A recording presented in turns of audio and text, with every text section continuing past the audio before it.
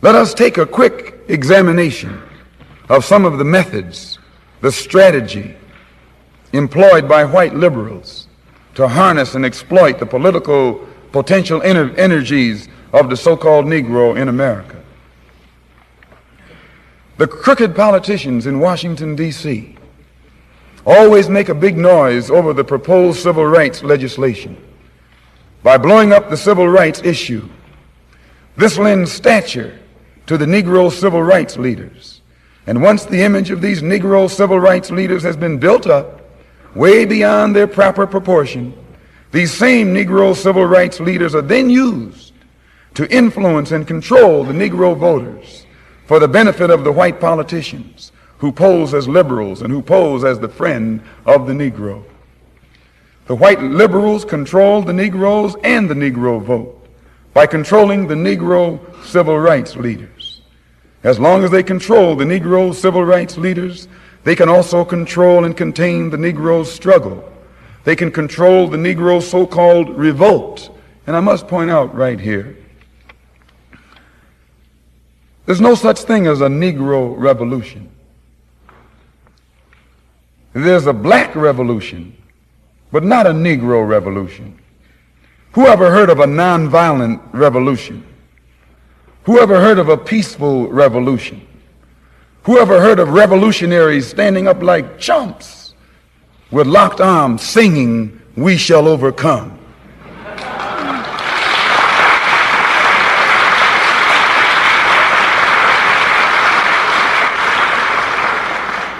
Whoever heard of a revolution based on a desegregated lunch counter and a desegregated theater and a desegregated public park and a desegregated toilet, which they call public accommodation?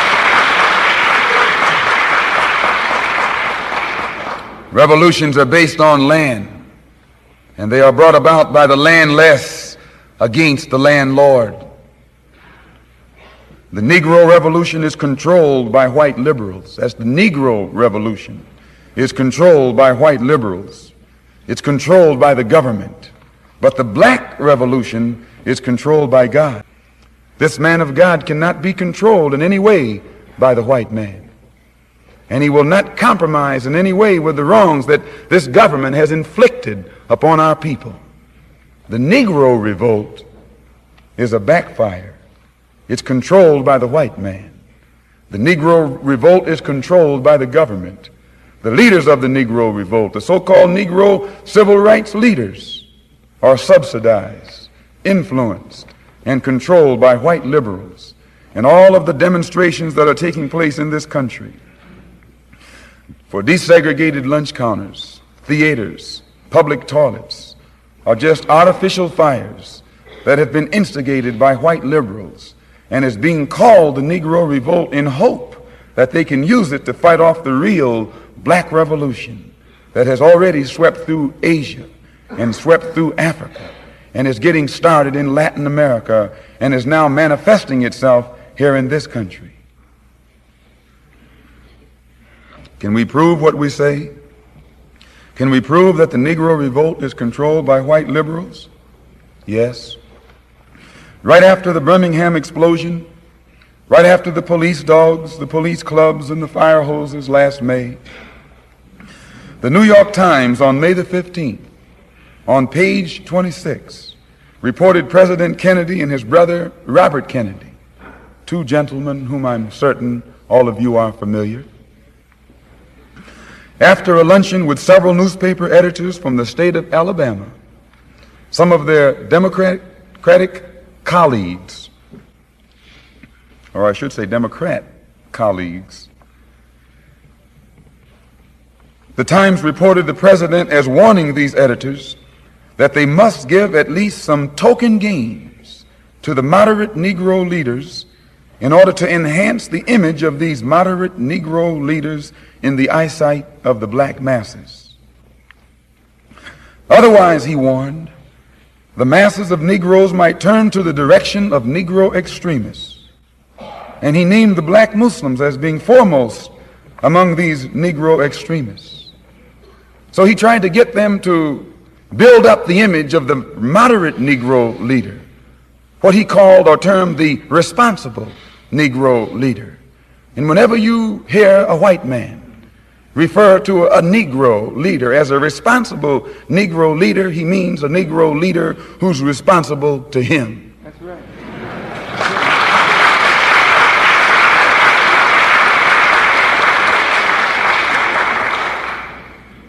In essence, the president was admitting to these southern editors that he was trying to build up the weak image of the Negro civil rights leaders in order to offset the, the strong religious image of the Honorable Elijah Muhammad. He wasn't giving these Negro leaders anything that they deserved, but he was admitting the necessity of building them up and propping them up in order to hold the masses of black people in check, keep them in his grasp and under his control. The president knew that once the Negroes follow the Honorable Elijah Muhammad, once they're exposed to his doctrine, the white liberal can never influence Negroes or control those Negroes or use those Negroes for the political benefit of white liberals any longer. Dr. Martin Luther King's image had been shattered the previous year when he failed to bring about desegregation in Albany, Georgia. The other uh, Negro civil rights leaders had also become fallen idols. The masses of black people across the country at the local level had begun to lead themselves and to take their cases to the streets on their own. The government in Washington knew that something had to be done to get the Negroes back into the corral, back under the control of the white liberal. The government immediately began to put out the propaganda, encouraging Negroes to follow only what it called responsible Negro leadership. And as I said, by responsible Negro leaders, the government actually meant Negro leaders who were responsible to the government and who could therefore be controlled by the government. The government knows that Mr. Muhammad is responsible only to God and can be controlled only by God.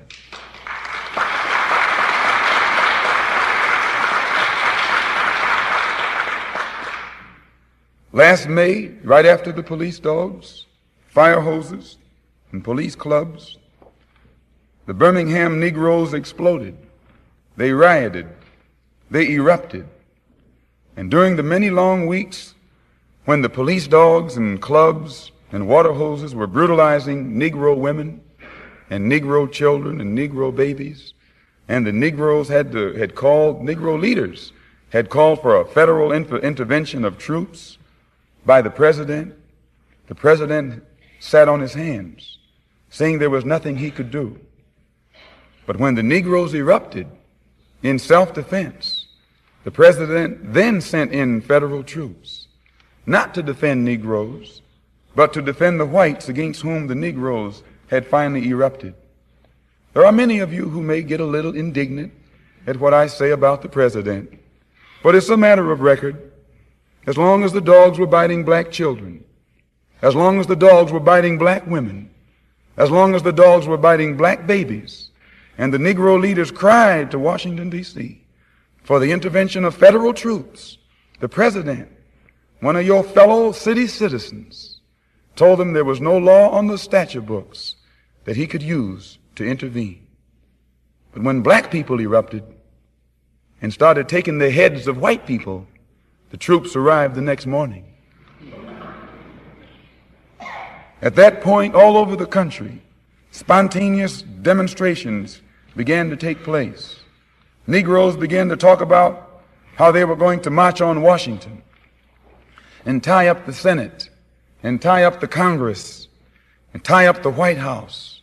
How they were going to lay their bodies across the runway at the airport and stop the airplanes from taking off or from landing. Bring all traffic to a halt. And as much as this president travels by plane, he really would have been in bad shape.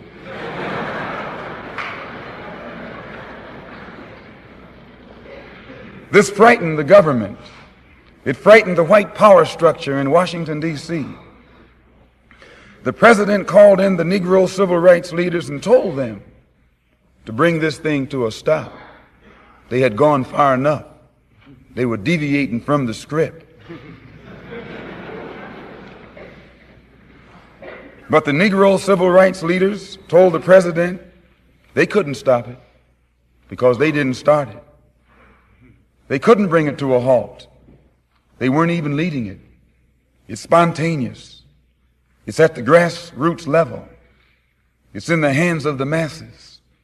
It's in the streets. It has no leadership whatsoever. That was why it was so militant. When the president saw that he couldn't stop it, he joined it. He endorsed it. He welcomed it. He became a part of it. And it was he who put the six Negro civil rights leaders at the head of it. It was he who made them the big six. How did he do it? How did he gain control of the March on Washington? A study of his strategy will give you a glimpse of the political genius of the family that now rules the country from the White House and how they use the Negro to do it. The president endorsed the march that should have been that should have been the tip off. A few days after he endorsed it, in New York City, at the Carlyle Hotel, a hotel which I think if you investigate you'll find belongs to that illustrious family.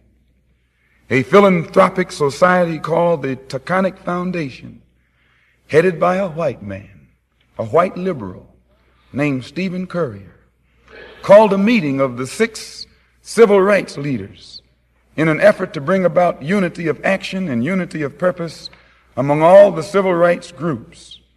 These six civil rights groups were shown how they were destroying themselves by divisions and by attacks upon each other.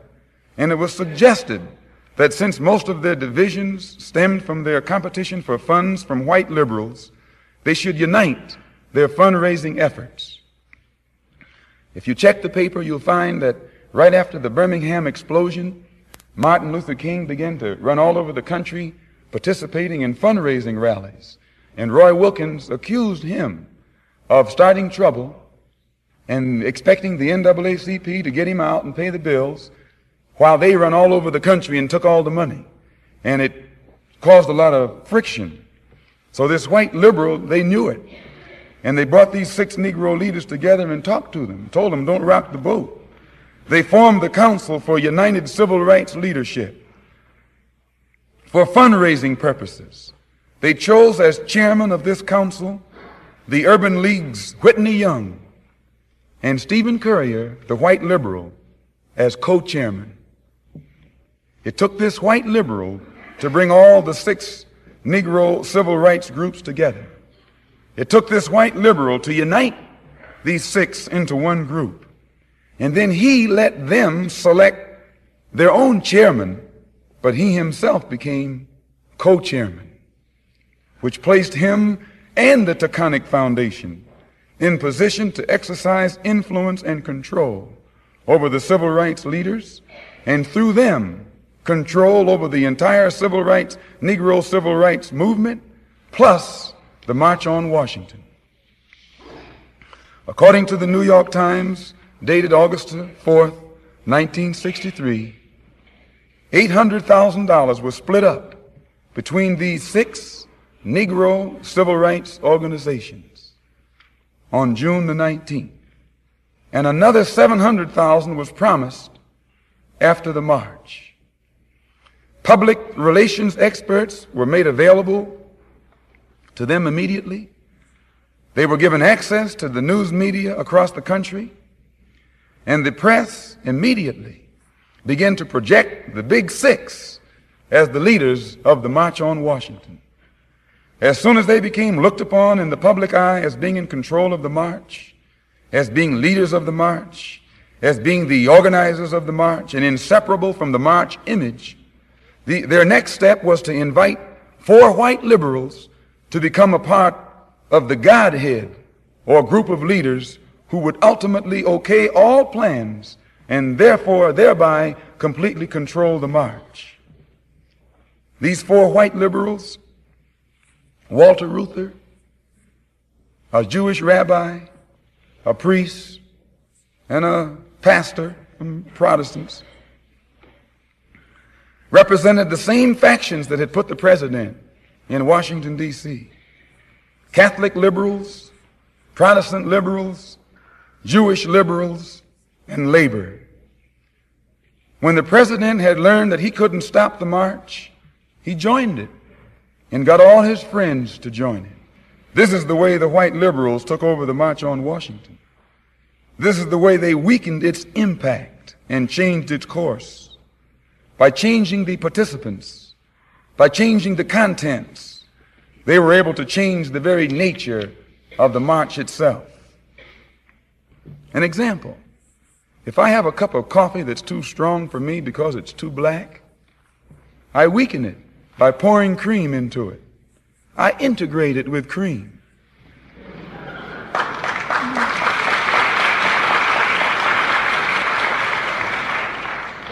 If I keep pouring enough cream in the coffee, pretty soon the entire flavor of the coffee is changed.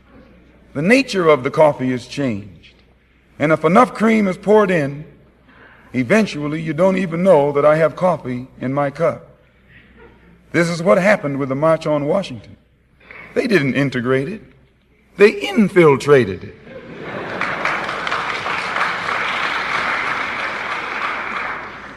Whites joined it. They engulfed it. They became so much a part of it, it lost its original fla- flavor. It ceased to be a black march. It ceased to be militant.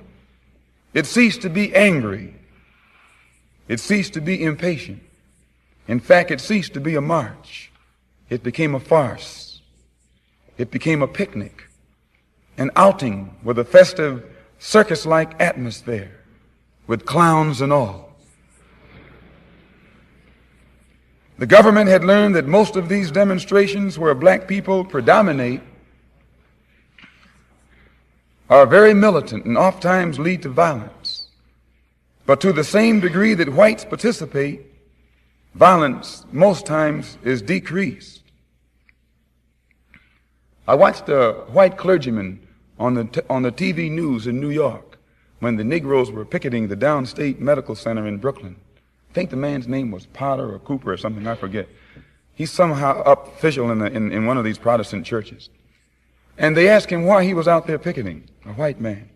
And he told them on the news, I just came back from Washington talking with the Attorney General. And he told me that their statistics had shown that wherever these demonstrations take place and they're predominantly black, they're too militant and too prone toward violence. And they had discovered that when whites participate, to the same degree that whites participate, the militancy decreases and violence is eliminated, minimized.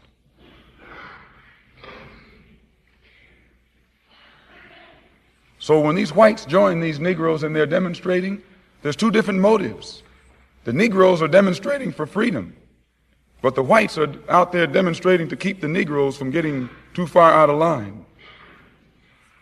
The government found out that this is the only way black people could be held in check. The government told the marchers on Washington what time to arrive in Washington, where to arrive, and when to arrive. Then the government channeled them from the arrival point to the feet of a dead president named Washington and let them march from there to the feet of another dead president named Lincoln.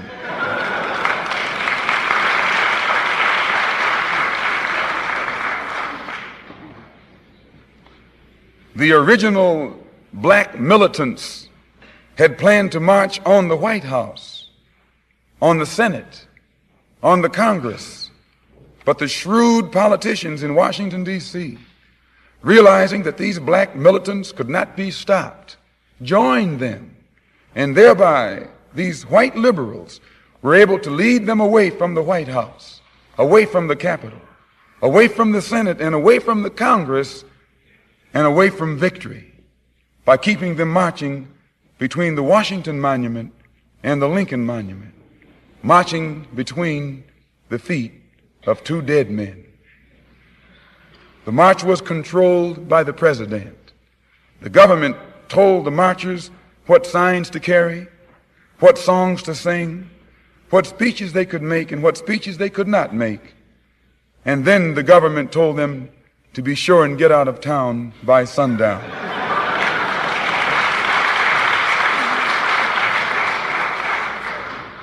and all those Negro Uncle Toms were out of town by sundown. One of the six Negro leaders, John Lewis, chairman of the Student Nonviolent Coordinating Committee, was stopped from making a militant speech. The speech was censored by the Reverend Patrick O'Boyle, the Catholic Archbishop of Washington, D.C. Catholic clergyman doesn't speak on his own. He doesn't have that latitude. When he opens up his mouth, that's the church speaking. This was a case in which the Catholic Church itself, for whom Reverend O'Boyle speaks, put itself in a position of censoring one of the six Negro civil rights leaders. This shows John F. Kennedy's shrewd strategy. In fact, that's what that F stands for, the fox.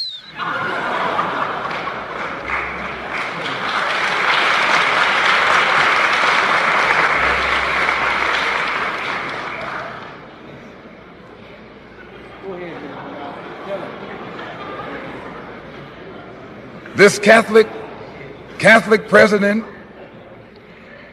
placed the Catholic bishop in a, in a position to exercise censorship over any one of the six Negro civil rights leaders who tried to deviate from the script in that great performance or show that the government itself had controlled from the very beginning. So in the final analysis of the march, it would have to be classified as the best performance of the year. In fact, the best performance of the century. It topped anything that Hollywood could have produced. And if we were going to give out Academy Awards in 1963, we would have to nominate John the Fox. Uh, uh, for an Oscar for the producer of the year. And to the four white liberals also goes an Oscar for, for the best actors. They really acted like sincere liberals and fooled many Negroes. And to the six Negro civil rights leaders also should go an Oscar for the best supporting cast.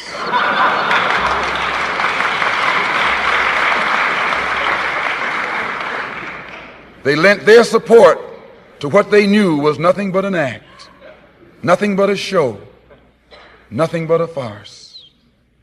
Now that the show is over, the black masses are still without jobs, still without homes, and still without land. Their Christian churches are being bombed. Their little girls are being murdered. What did the march accomplish? The president has a bigger image as a liberal the four whites have a bigger image as a liberal. The six Negroes have bigger images as leaders. But the black masses are still unemployed, still in the slums, are still hungry. And I might add, they're getting angrier and more explosive every day. So in my conclusion, because of America's evil deeds, and tricks and false promises against the so-called Negroes in this country, like Egypt and Babylon before her. America herself now stands before the bar of justice. America is now facing her day of judgment.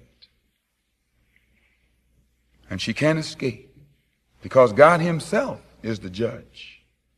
God himself is now the administrator of justice. And God himself is going to be the divine executor. Is it possible for America to escape this divine disaster? The Honorable Elijah Muhammad says that if America can't atone for the crimes that she has committed against 20 million so-called Negroes, if she can't undo the evils she has brutally and mercilessly heaped upon our people these past 400 years, then America has already signed her own doom And our people here would be foolish to accept America's deceitful offers of integration at this late date into a doomed society. How can America atone for these crimes? I must point out, the Honorable Elijah Muhammad has already said a desegregated theater or lunch counter won't solve the problem. Better jobs won't solve the problem. An integrated cup of coffee isn't sufficient pay for 400 years of slave labor. A better job in the white man's factory or business is at best only a temporary solution. The only lasting or permanent solution is complete separation on some land that we can call our own. The Honorable Elijah Muhammad says the race problem can be solved forever just by sending the 20 million ex-slaves back to our own homeland where we can then live in peace and harmony among our own people. But this government should provide the transportation plus everything else we need to get started again in our own country.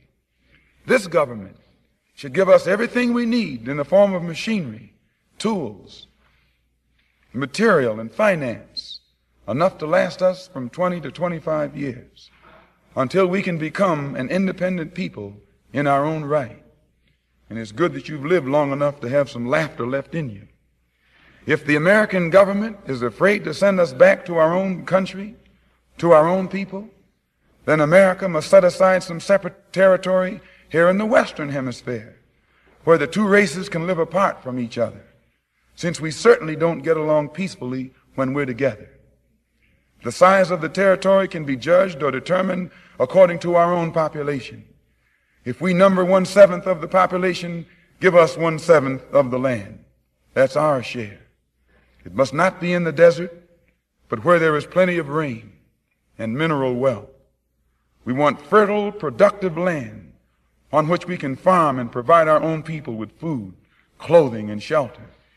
This government must supply the machinery and the other tools needed for us to dig the earth. Give us everything we need that will take care of us for 20 to 25 years until we can produce and supply our own needs. So in my conclusion, I repeat, we want no part of integration with this wicked race that enslaved us. We want complete separation from this wicked race. But we should not be expected to leave America empty handed. After 400 years of slave labor, we have some back pay coming. A bill that is owed that must be collected. If the government of America truly repents of its sins against our people and truly atones by giving us our true share, then America can save herself. But if America waits for God to step in and force her into a just settlement, God will take this entire continent away from America. For as the Bible says, God can give the entire kingdom to whomsoever he will, which only means God can give this entire continent to whomsoever he will. Thank you.